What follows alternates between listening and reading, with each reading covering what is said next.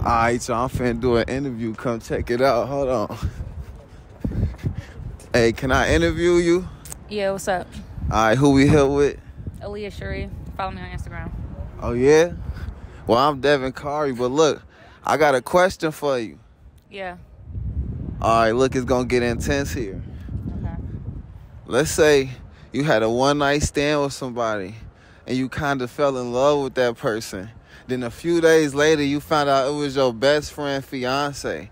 Is you staying or you leaving? And why? I'ma leave because I don't even rock like that.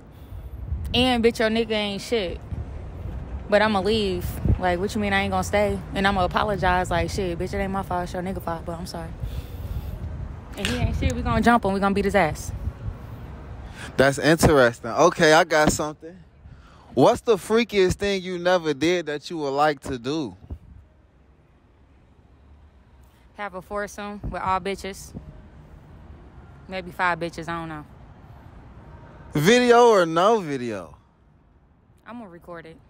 Only me though. Interesting. That's all I gotta say, and we gone.